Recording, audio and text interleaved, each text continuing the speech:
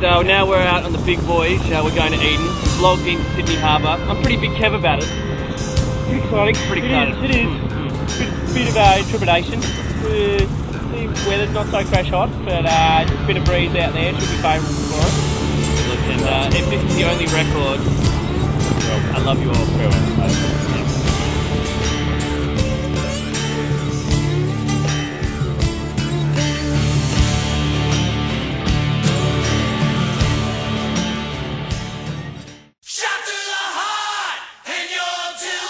We've hit some weather. We're on the high seas. We've had some waves. We've hit 11 8. It's 20, 25 knots of breeze out here. We've got a good one, two metre swell. We're uh, down a couple of waves of floor. Banner on the bow, holding on to the line. Captain Jones said we're going straight through. We're going to Eden.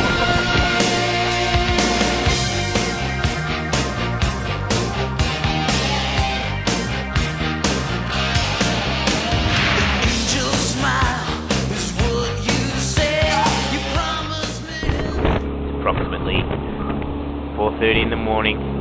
Myself and Banner on shift. You probably can't see Banner there because it's very dark. I've got my safety line on.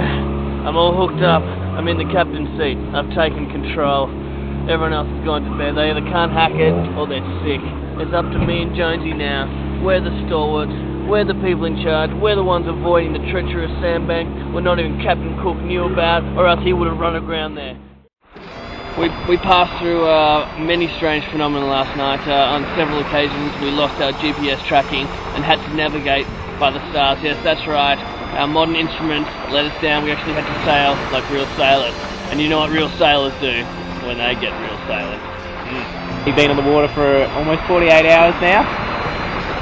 Uh, At least the vomit stopped flying. I'm getting a little bit David Attenborough. That's because we have whales. Look through that spinnaker there, which is flying very well. You may not be able to see them because they're very elusive in the wild. Here's Jonesy trying madly. Oh, we have a problem. I have to go. We are on the home stretch. Oh yeah, we're moving. Oh, yeah. Yep. yep. We've got about five and a half hours to get to Lakes Entrance before high tide. And what better way to do it than hoist the kite up and fly along at around about 12 knots. I agree with you, Paul. We're shooting down waves. Steve's on the helm. He's excited. So am I. Way thrown over the bow. We are gaining top speed so far, 14.4. Yeah, good speed, good speed. Good speed, good speed. What a great way to end. We're in the deep depths